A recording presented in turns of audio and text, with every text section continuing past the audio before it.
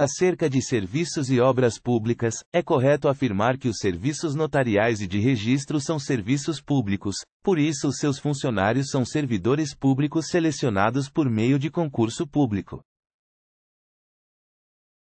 Analisando a questão, você responde: verdadeiro ou falso? O gabarito é falso.